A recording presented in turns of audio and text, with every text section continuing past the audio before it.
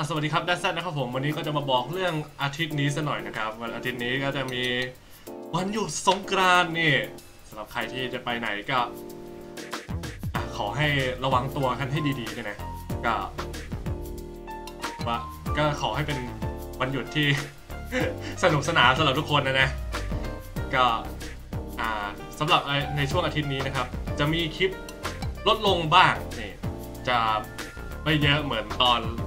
ช่วงธรรมดานะ มี Let's Play นิดหน่อย แล้วก็มีอ่า Let's Play ตัวใหม่ด้วย ที่กำลังจะออกเป็น Let's Play สั้นๆ ไม่ยาวมาก ประมาณ 5-6 ตอนมั้งเดี๋ยว ไม่สปอยดีกว่าว่าเป็นเกมอะไรเดี๋ยวเดี๋ยวก็ออกมาเองนะครับอะมาพูดสั้นๆ แค่นี้แหละไม่มีอะไรมากยังไงก็สุขสันต์วันสงกรานต์นะครับทุกคนนะครับ ขอให้มีความสุขกับวันหยุดนะก็ได้ไปพักผ่อนกันบ้างนะครับ ผ่อนคลายเครียดนะอะวันนี้ก็ลากันไปก่อน เจอกันนะครับ สวัสดีครับ บ๊ายบาย